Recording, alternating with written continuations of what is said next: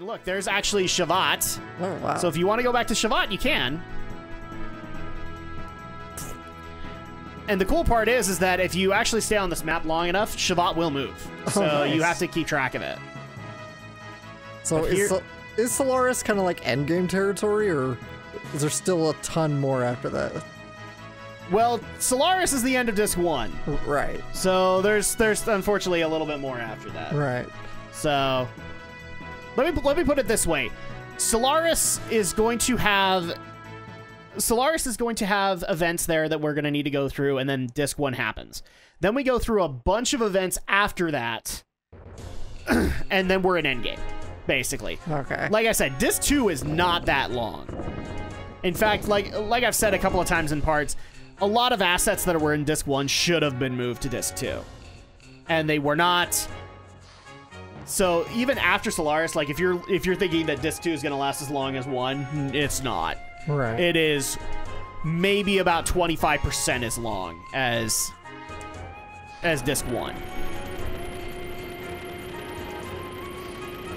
So for all the people who are screaming like this is going to go over 200 parts, no it's not. It's not, but we're going to have a lot of story in the next little bit. Oh, hi captain. Let's go ahead and meet up with the captain. Oh, what's wrong? What do you need? Point X1507Z1235. Hans, does that sound familiar to you? It's Sir. It's a Sargasso Point. So, What? The Sargasso? Sargasso, what's that? Oh, it's a cave formed from microbes over many years. It's supposed to have hidden treasure, but no one's ever returned from there. The story is that the cave itself is alive. Are you going to the Sargasso? Looks like it. Your gears can't dive that deep. If they did, you would not be able to move. Equip your underwater gear here. Then take your ship as far as you can and dive in with your gear. I'll go wake those winos up right now. Really? It's okay with you? Thanks. You're always helping us out, Captain. Don't mention it! We are, after all, men of the sea. it looks like they're done. That was fast. Of course, we're. Men of the sea, right? See? You're getting it. Blimey, I think he's got it! Take care then. Yeah. Oh, yeah, I forgot to tell you how to operate them underwater. It's easy. You can jump in water without your feet touching the ground. Keep jumping to build up speed. You could swim pretty well in a gear, but there may be places you can't get past if you don't do it well. Got it. Thanks. No need for thanks. Maybe you can buy something from our gear shop. Looks like there may be some new booty to sell. So there's your indicator that yeah, go and go and check out the gear shop because this is going to be important. so with that being said, let's go ahead and make our way to the supply entrance. Yeah, Supply entrance. I'm dizzy. We've been riding in a screw elevator. okay, so here's our guy. Oh, a customer, we've got a lot of brand new parts. I'm sure you do. So let's go ahead and tune up our gears. 5400, that's not bad. Frame 14,800, so another 2,400 onto it. And RX Metal 50, so no armor. So let's go ahead and do that. And tune up Vierge. Boom. 14,300. Not bad. There we go. Heimdal, 5,400 and 13,000. No, so that's not an improvement. So we lucked out. We don't have to buy too much. Store the fuel. Andvari. So, chosen equipment has abilities less or equal to current. Yes, we're going to change anyway because we want the bigger fuel pool. So 54 and Brigandier 15,000. So, yeah, we don't want that because we have 18,000. We literally reversed that. Nice. So we'll we'll go ahead and keep that. RX Metal 60, so no. Then Renmazuo, 5400. 14,200. People are getting so frustrated with me right now for quoting numbers. Sorry. and Stier, 5400. 16,500 HP for Stier. And thankfully that's it, I think. Oh, Seibzehn. Uh, 6,600, that's not an improvement. And no, 18,000.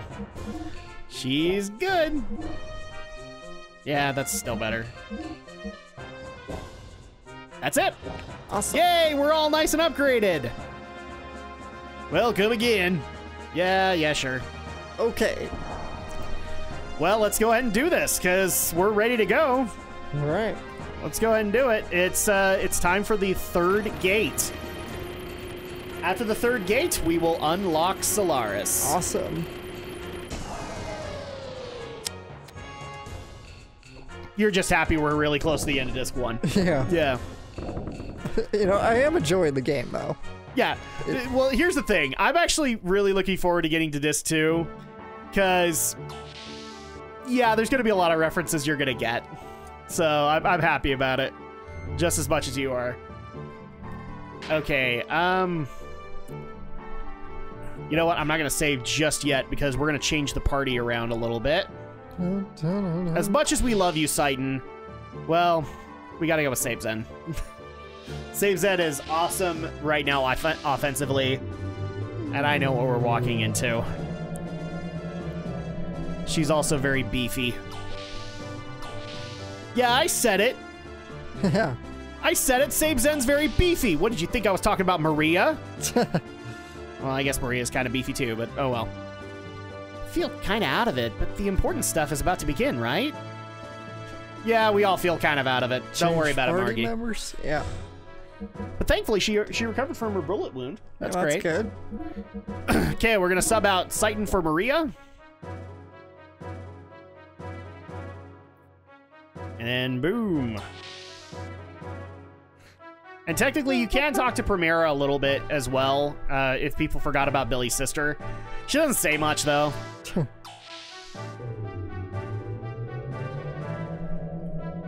All right, so back up to the bridge we go. Three, third gate. Are, are you getting excited at least for Solaris? Yes. To see what's going to happen there. Okay, good. Hopefully, you guys at home are also getting excited. I know it's been it's been a long, hard road. Trust me, I did this road before you guys, Yeah.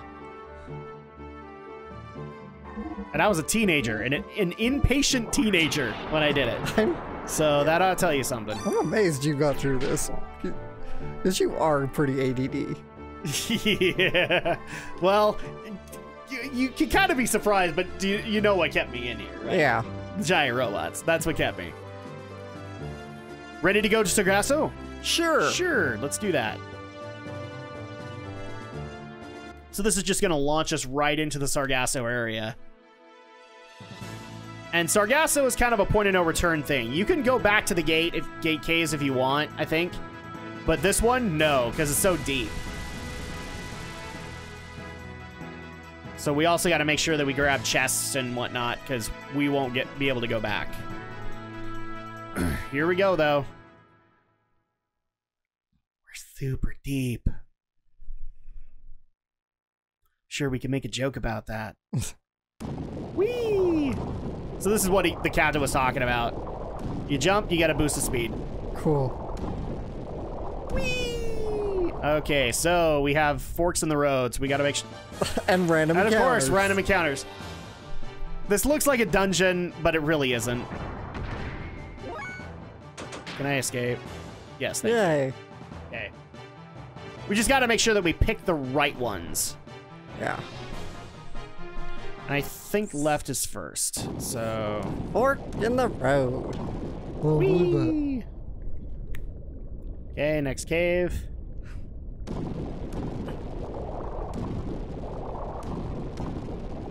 Oh. Nope, never mind, it wasn't. Dead end. Damn it!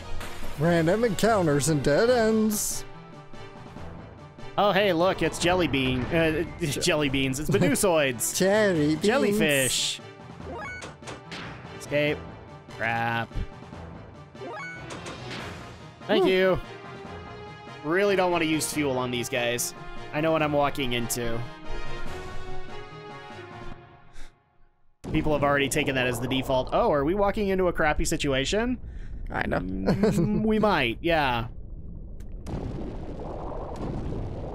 well, definitely tells me we're, we got a pretty tough boss coming up.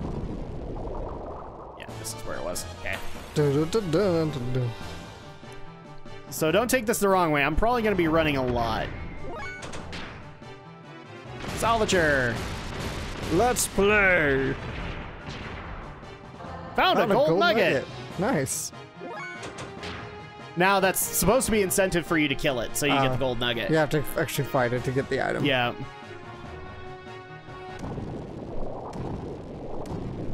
Kind of like a, a thief in a Final Fantasy game. If they steal stuff from you, you have to kill them quick. Otherwise, they'll walk away with it. Oh, cool.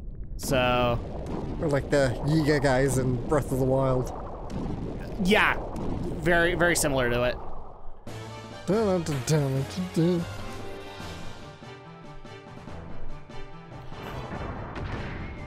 Oh, look. More charging. Charging. Couldn't care less. Charging. Our jellyfish. We want to kill you. Are you kidding me? Come on. Flash. Flash. Oh, Accuracy and evasion down. flash. Oh, you weren't done being flashed? Okay. Oh. Flash! Ah! See, I was I was going down the dirty road. I was like, I didn't want to see those boobs. Ugh. Oh, let's not kid ourselves. We're guys. We'll, we'll see any kind of boobs. uh, let's go left this time. Swear if it's right again, I'm gonna scream. Nope, I think this is right. There's a current. I don't think we can get through here, can we? Okay. Yep, this is right. Okay. Because this current is pushing us back. Fuck you. Random encounters. I don't think we can go right into where the current's coming from, but we need to go to the other area. So we got to make sure that we time it right, and you can't really do that outside of a battle. Crap. Whew. There we go. Oh, okay, go down this way. Dun, dun. Yeah, not, not this time. Thank right goodness. at the entrance. Okay. There we go. I think this is it. nice. Damn it! Oh god. Why? I called it just too soon. You did. You jinxed us. Thank you. Damn it. Knew we were gonna get some crap like this, but yeah, there you go. Yay. And here we are. So, oh, wait, actually, Received the dark, dark, rod. Treasure box was empty. Well, that's a tease. Uh oh. I heard a sound somewhere. Actually, it's a switch. Oh, okay. So I believe the current will not be strong anymore, and we can go that direction. oh, cool.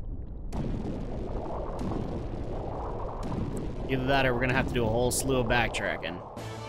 and hit random encounters. Whoopee. It's all right. We'll we'll make our way here. Escape, escape, escape. So I'm running solo for just a second because we're totally ignoring the fact that Alex is going to the bathroom, which would be totally warranted right now.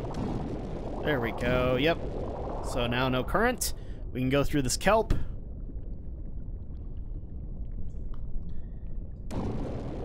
See, this is kind of what the captain was talking about. Is like it's a living cave. It's full of microbes and.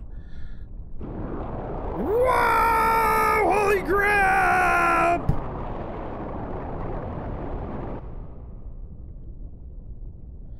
Okay, so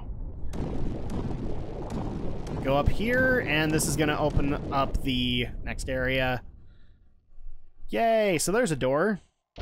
Wonder where that door goes. Death Blower 2. So now, uh, people might remember a while back we got the Death Blower 1. Now we have Death Blower 2 that allows level 2 death blows for any gear uh, if they have it on. So that's cool. We got a death blower too. But now we have this door. So let's go ahead and go in the door. Are you hmm. ready, Alex? I'm so ready. It looks like a gate cave door, so at least that's a good sign. Yep, here it is. Is this the third gate? Oh. Who are you?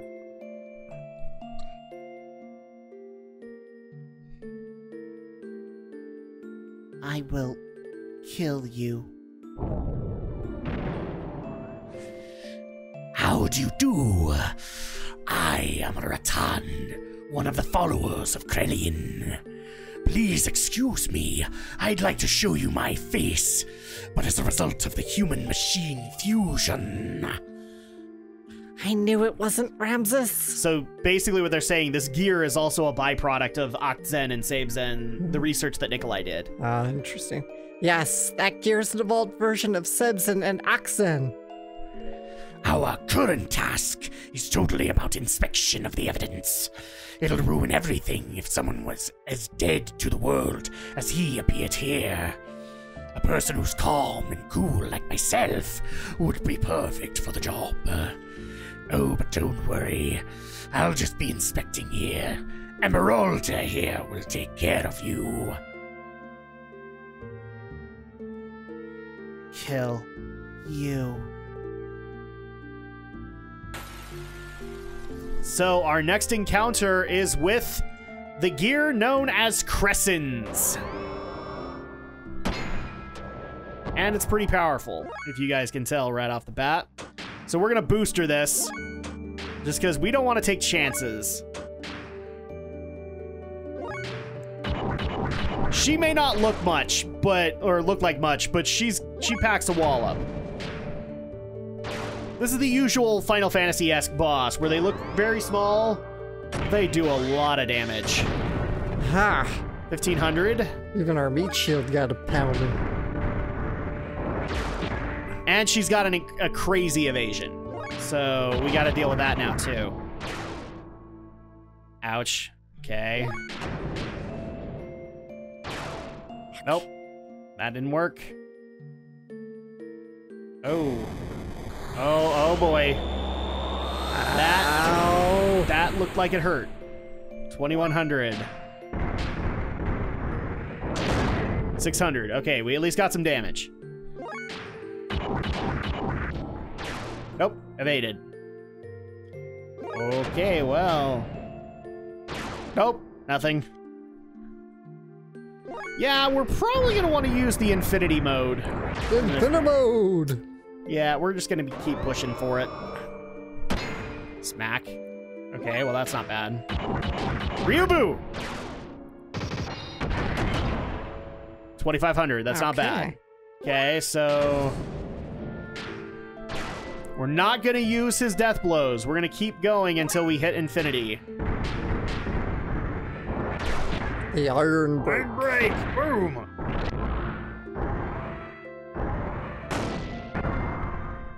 Forty-four hundred. Before people ask, you can technically do this just using level three. I wouldn't recommend it because Crescens can get some pretty big hits in. Ow, 1600 just from her finger. All with my finger. I want to say she gave you the finger poke of doom. But sadly, WCW did that. Never mind.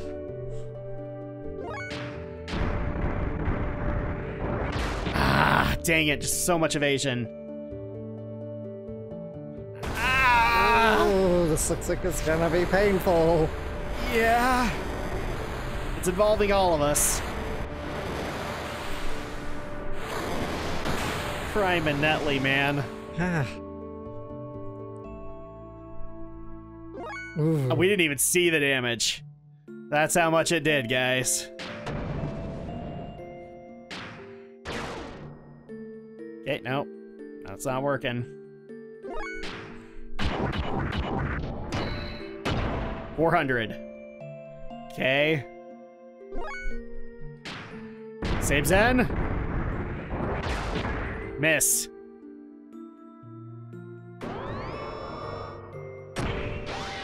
Jeez, 1500. Ouchies. Okay. Just gonna do this. Basic attacks at least are doing something. Ryubu! Got another 2500 on her. Here's hoping she doesn't have a restore. That might suck.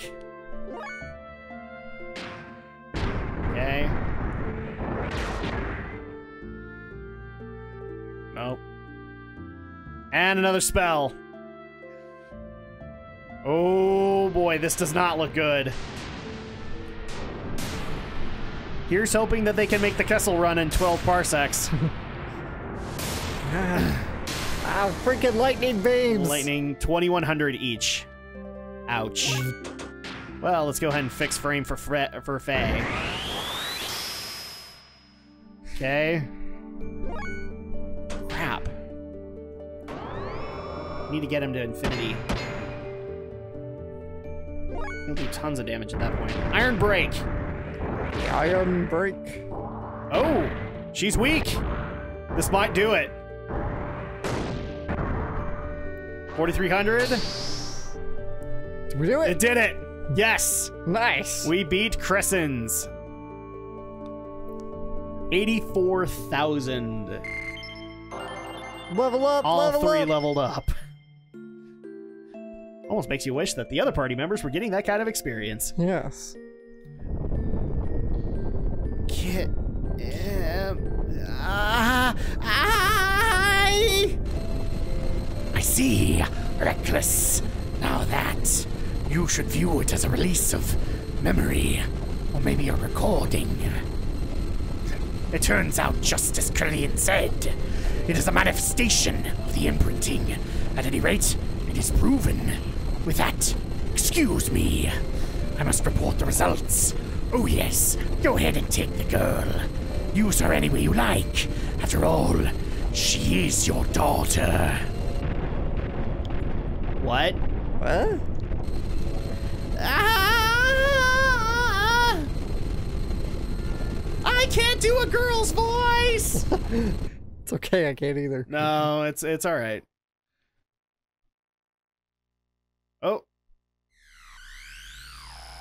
And apparently there was enough of a of a shock afterwards that it destroyed the gate.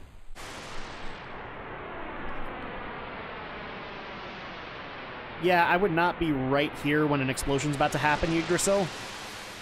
That already happened. That we that we guessed. There might be another one.